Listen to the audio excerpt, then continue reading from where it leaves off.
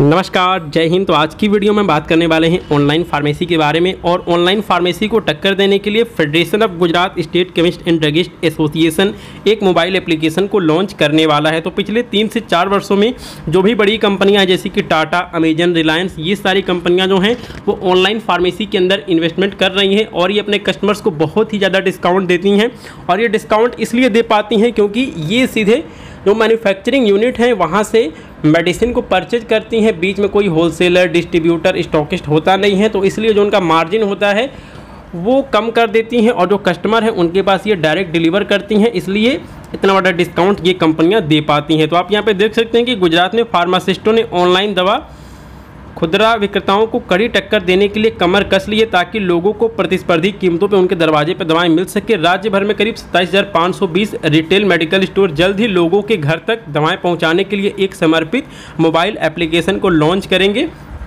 और इसमें आगे लिखा हुआ है कि पायलट प्रोजेक्ट एक अगस्त से शुरू होगा। Federation of Gujarat state chemist and druggist association app launch करेगा, जिसमें राज्य भर के सभी मेडिकल स्टोर का विवरण होगा। यहाँ तक कि ऑनलाइन मेडिकल रिटेलर्स के पास लगभग चार परसेंट बाज़ार हिस्सेदारी है। स्थानीय फार्मेसी उन्हें एक गंभीर व्यावसायिक खतरे के रूप में देखते हैं। तो यहाँ पे ये सारी जो चीज़ें हैं, वो यहाँ पे डिटेल में दी गई हैं, रिपोर्ट में दी गई हैं। अब आप यहाँ पे आगे देख सकते हैं कि मेडिकल स्टोर के मालिक अपने नियमित ग्राहकों से पहले से भरे हुए विवरण के साथ एप्लीकेशन इंस्टॉल करने के लिए कहेंगे और उन्हें उसी फार्मेसी में निर्देशित किया जाएगा जहाँ से वे पर्ची अपलोड होने के बाद दवाएँ खरीद रहे हैं।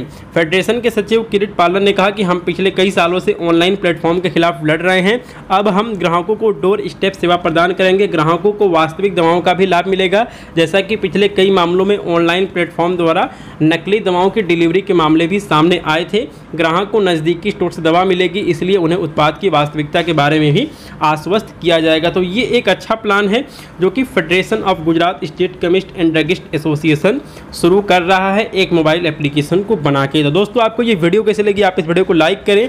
साथ में इस टॉपिक पे, इस मुद्दे पे आपके क्या विचार है, इसको कमेंट बॉक्स में ज़रूर कमेंट करें। आपका ये वीडियो देखने के लिए धन्यवाद। जय हिंद।